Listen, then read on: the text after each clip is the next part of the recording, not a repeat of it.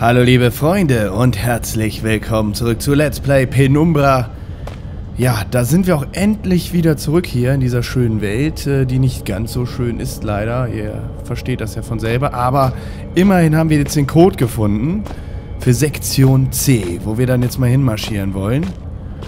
Und ich als alter Spaziergänger äh, finde hoffentlich den richtigen Weg. Da vorne geht's lang. Juckt's mich direkt wieder an der Nase immer wenn ich Penumbra spiele, also nicht immer, aber andauernd, muss ich sagen, äh, juckt es mich plötzlich an der Nase. Das ist meine alte Spürnase wahrscheinlich. Krieg ich immer so Kribbeln hier, hier so, so ein kleines Kribbeln.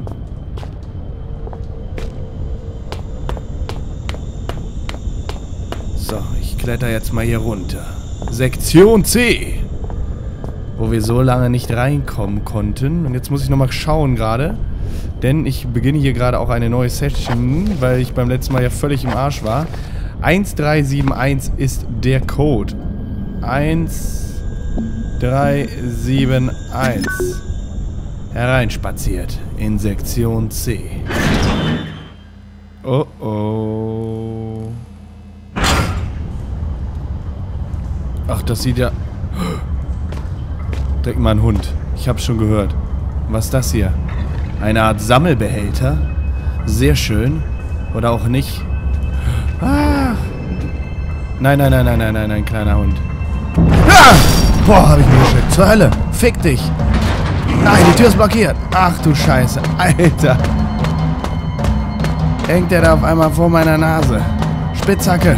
Mein Hunger wird langsam unangenehm. Aber sehr weit nicht sein. Scheiße. Hinter einer Steinmauer. Ah. Fuck, hat der mich erschreckt. Alter, ich habe einen Herzinfarkt bekommen, ohne Scheiß. Ich stand da halt im Licht, deswegen konnte er mich sehen. Komm, nimm die Spitzhacke. Hau dem Vieh direkt auf den, auf den Deckel hier. Boah.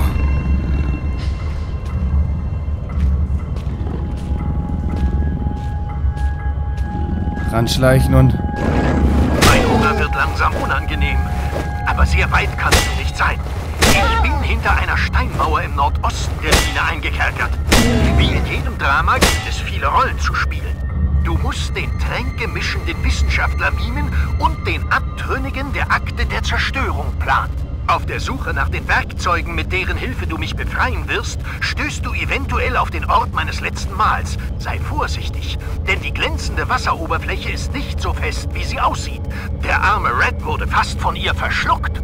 Die zwei törichten Männer, die in meinen Bereich gestürzt sind, sind längst fort, aber nicht dorthin, woher sie kamen. Es gab damals reichlich Zweibeinerfleisch, aber Red versichert dir, dass der Schmaus erst begann, als die Männer Stech zu riechen begonnen hatten, der Gestank des Lebens vergangen war und nur der süße Verwesungsduft blieb. Köstlich. Der süße Geruch von Verwesung. Ach du Scheiße, da ist schon der nächste Hund. Ich weiß gar nicht, wo ich, wo ich lang muss. Vielleicht gehen wir erstmal zu diesem zu diesem Flüsschen hier. Oder zum Lake vielmehr. Ist ja ein See. Scheiße. Einmal kurz leuchten. Wo sind wir hier? Da vorne.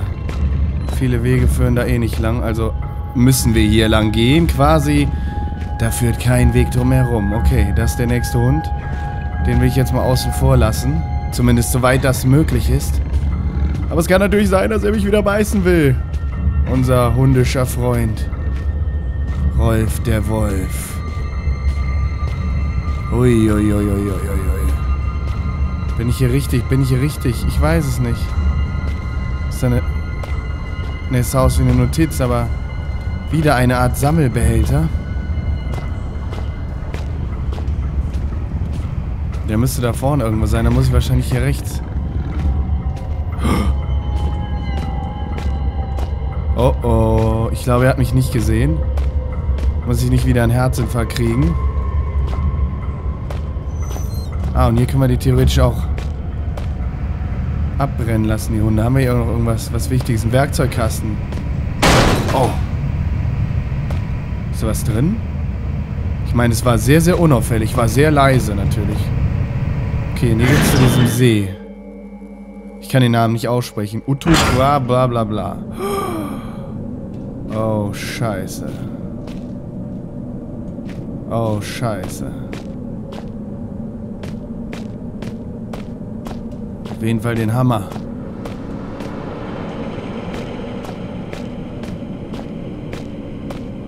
Ach du Heiliger.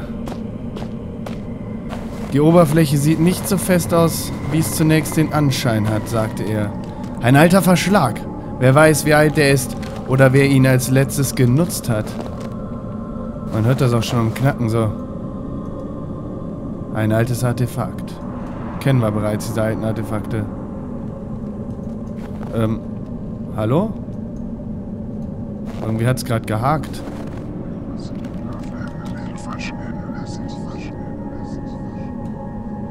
Jedes Mal, wenn ich eines dieser Dinger benutze, fühlt es sich an, als ob das Artefakt äh, mit Besuchern füllt, bla bla bla. Haben wir alles schon mal gehört. Ist ja nichts Neues. Und meine alte, juckende Spürnase... Hm, ja, die äh, sagt, wir müssen hier über den See kommen. Das Problem ist, Red hat uns gewarnt, es sieht nicht ganz so fest aus, wie es zunächst den Anschein hat. Kann man es hier aus dem Verschlag Jetzt mal ganz blöd gefragt. Ey, geil, das klappt tatsächlich. Warte mal. Na, das ist doch genial. Einfach eine Brücke bauen. Hält das? Hält das?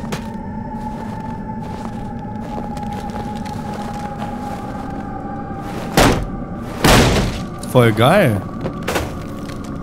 Kann man es echt eine riesen Brücke bauen auf kurz oder lang, oder? Wie weit ist denn das da über den See? Ich meine... Oh Gott.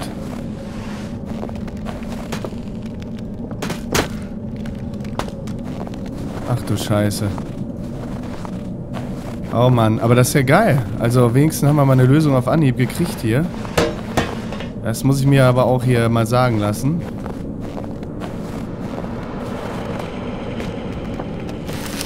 Oh, scheiße, scheiße, scheiße. Nein.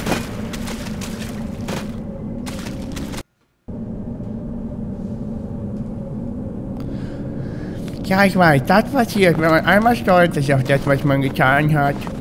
Ach du Scheiße, Alter. Bin ich da voll ins Eis eingebrochen.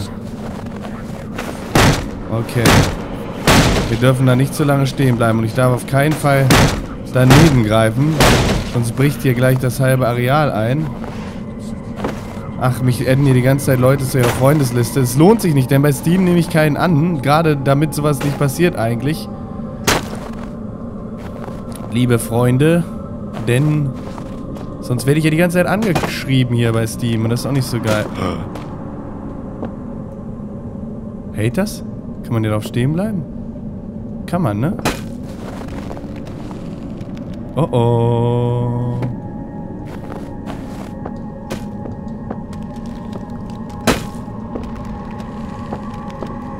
Oh oh. Das macht mir irgendwie zu schaffen gerade hier. Ich habe irgendwie das dumpfe Gefühl, dass es nicht so geil jetzt hier hält alles. Dann muss ich die alten wieder mitnehmen, oder was? Weil so viele Beschläge sind es jetzt nicht. Vor allem wie die Bretter da rausgebrochen sind. Ich sehe nichts, sehe nichts. Ist auch super geil.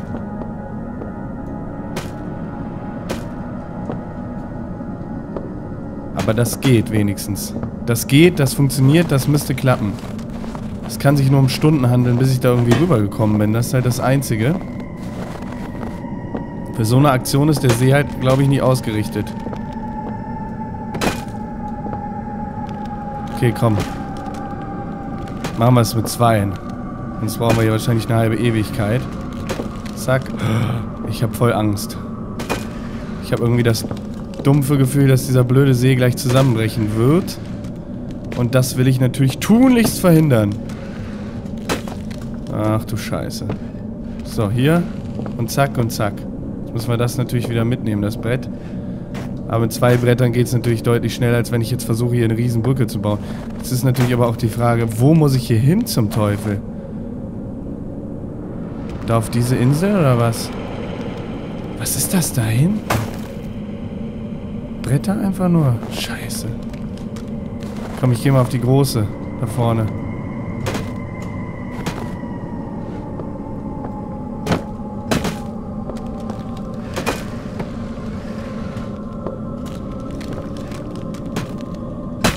Ja, sehr schön.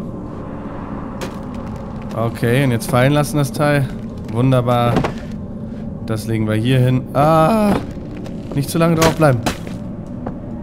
Puh. Ich glaube, die halten nicht ewig. Ich will es aber auch nicht ausprobieren. Ah, ein bisschen näher kannst du schon noch. Hilfe! Zur Hilfe! Hilfe zur Hilfe! Aha, was haben wir denn da Schönes? Das ist doch eine Hand. Alter. Das war also einer dieser letzten Typen, wahrscheinlich, die da in diesen See eingebrochen sind. So, jetzt ist die Frage, kann ich hier doch stehen bleiben? Ich muss ja irgendwie. Sie 6. Können wir das Brecheisen nehmen? Sonst nehmen wir die... Habe ich mir fast gedacht. Wie ekelhaft. Einfach mal die eingefrorene Hand abgesägt. Aber jetzt haben wir ein Brecheisen. War das jetzt alles? Können wir die Hand auch noch nehmen? Wuhu. Da steckt dann wahrscheinlich auch irgendwo ein Körper drin. Aber der See scheint zu tauen, dieser unterirdische See. Moment, hier sind so Luftschächte. Zu einer anderen Zeit, an einem anderen Ort, wäre das wohl ein, ein der hübsches Naturschauspiel. Momentan verursacht der Anblick aber eine Gänsehaut bei mir. Oh ja.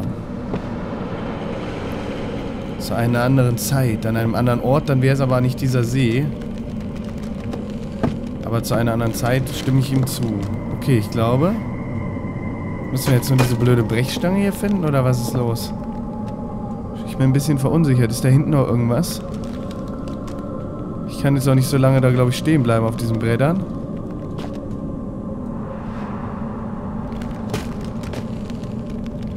Nee, ich glaube, das war's, oder? Ich bin mir nicht sicher, Freunde da draußen. Freunde des Horrorschauspiels bei Let's Play Penumbra mit dem Sarazar, dem alten Ampelmann. Alter. Ich will, ich will, ja genau. Ich will das greifen.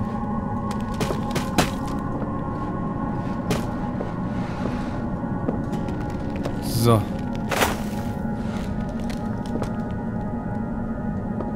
Und jetzt hier rüber mit dir. Und jetzt gucken wir uns da noch kurz mal um. Nicht, dass ich jetzt hier irgendwas übersehe und nachher voll von euch auf den Sack kriege, weil der Sarazar wieder irgendwas nicht gefunden hat. Was ja durchaus mal vorkommt, also schon vorgekommen ist, da munkelt man sogar.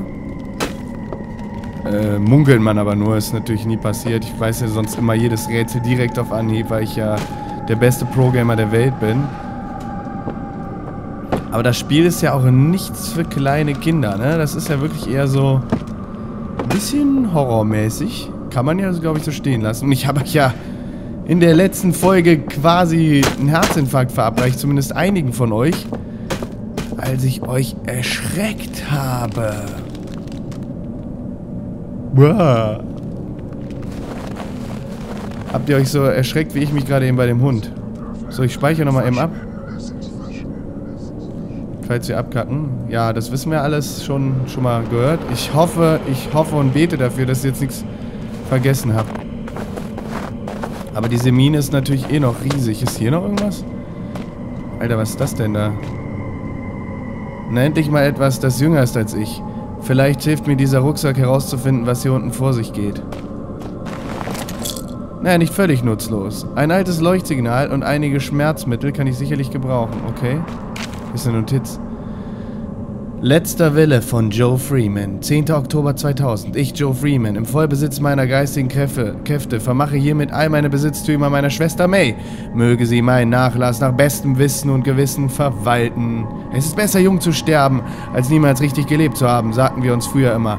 Nun sieht es wohl so aus, als ob ich diese, als ob ich unsere Devise bewahrheitet. Also ich, ob sich eine Blablabla. Okay, wer das lesen will, Pause drücken für Seite 2. Pause drücken für Seite 3 und Pause drücken für Seite 4. Um die Schmerzen zu ertragen. Eine letzte Dose mit Schmerzmitteln trage ich noch bei mir. Wenn ich die auf einmal schlucke, dann ist es in kurzer Zeit aus mit mir. Besser das Ganze schnell beenden, als sich stundenlang zu quälen. Lieber sterbe ich im Dämmerzustand, als bei vollem Bewusstsein zu verbluten oder zu erfrieren.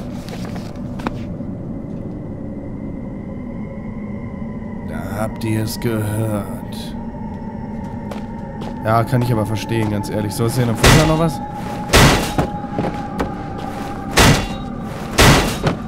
Also auf jeden Fall ist diese Spitzhacke doch, doch eine ganze Ecke wumsiger als dieser stinknormale Hammer. Muss mir ja gerade mal ein bisschen gerade setzen, damit man mein Gesicht noch erkennt, meine Visage. Okay. Und jetzt können wir hier theoretisch raus. Oh, und haben den Dreh hoffentlich erfolgreich absolviert. Ich weiß es nicht. Ich bete dafür nur. Und da vorne sind wieder Hundis, die auf uns warten. Leute, Leute von heute. Ist ein Hebel? Der aktiviert dieses Gas hier. Falls das vielleicht einer in irgendeiner Folge nicht gesehen haben sollte, hier können wir theoretisch so einen Hund einsperren, aber ich frage mich ernsthaft, wie wir die da reinlocken sollen. Vielleicht mit Lockstoff? Oh, oh, oh. Nein.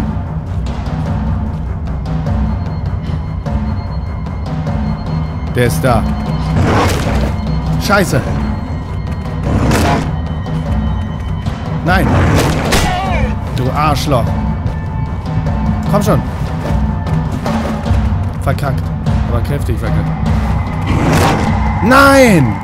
Ich bin so doof. Alter, nochmal abgeschissen. Der kriegt jetzt voll auf die Sacke, ey. Der kriegt jetzt so richtig. Du Scheißköter, komm her, ich jage dich. Jetzt reicht's mir. Jetzt reicht's mir aber wirklich hier. Wo bist du? Wow.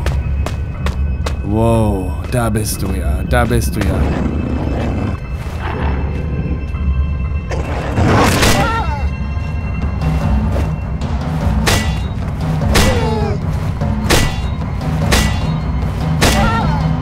Na, reicht das jetzt? Steht immer noch auf. Scheiß Vieh, ey. Mann, Mann, Mann, Mann, Mann. Boah. Ich hab's überstanden. Die haben dieses komische Säge, das Brecheisen, viel mehr. Ein bisschen Schmerzmittel bekommen. Leuchtstoff. Und sind immer noch in dieser Mine hier, müssen hier irgendwie rauskommen. Liebe Freunde, wir sehen uns wieder in der nächsten Episode von Let's Play Penumbra.